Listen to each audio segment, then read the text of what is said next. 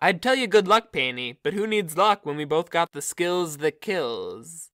And our combined skills work, even if I get mad.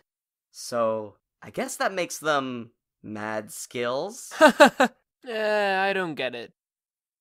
I'm sorry I said we shouldn't work together. Yeah, uh, yeah, why did you say that? I guess I'm just used to doing things my own way. It's hard to explain. Eh, I think I'd get it. I got you, g- uh, guy? Wait, why are you doing that weird eyebrow thing? Oh, it's C, isn't it? None of the above. That's why I don't bring it up. I don't think they even know there is a C. Really? Well, Baxter here knows there's a sea. He loves the sea. Without it, he's just a rab. Ow! I hate rabs. Co-hosts! Toothbag found this jewel in the cave, and now she keeps talking about corn. Uh, corn. I love sparkly gems as much as the next guy or girl, or neither. So yeah, I guess I can't complain. Man, are you sleep talking again? Only a little. Sorry, Baxter. You're separating me from the game is in my mind. Actually, Van, there are show parameters in place. Theories and patterns are easy. I didn't want to believe Paintbrush because they knew the game was more. I said peace till morning was impossible, but Paintbrush, they impressed me. Yes. While Paintbrush wastes their time talking in circles, With Kendall gone, I thought of the perfect new alliance. He wants to make a boys club. Stay out of my brain journal. I'm non-binary.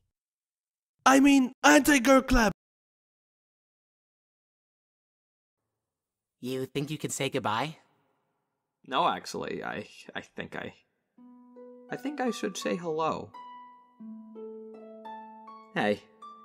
You know, I always called you him. Guess not all my theories are right, huh? I'm sorry that I wanted you to be safe so bad that I almost never got to meet you. I'm always trying to make sense of this crazy world, but really, I'm just guessing. The only thing I know for sure is even without that shell holding you together, you'll still watch out for each other.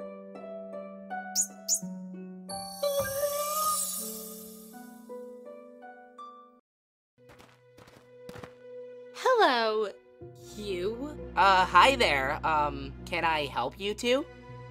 Look, a lot of contestants have like come through here over the years, and they've all lost because we're obviously better than them. And the competitors are so boring. So we just keep asking the MePhone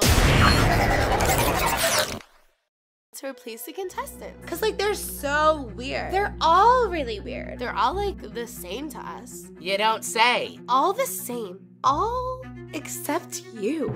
You're not like the rest of them. Wow, when I hear that phrase, it's almost like I'm home. Which I'm not. This isn't my home. OMG, she's not getting it. Chives, water. I need water right now, Chives. Give me water. Of course, Madam White. See, everyone who comes through here is either totally zany or, well, you know, normal, like us. One of two things. But you don't seem to be either one. Because any emotion or logic disrupts your little celebrity statuses. That's what's going on here, isn't it?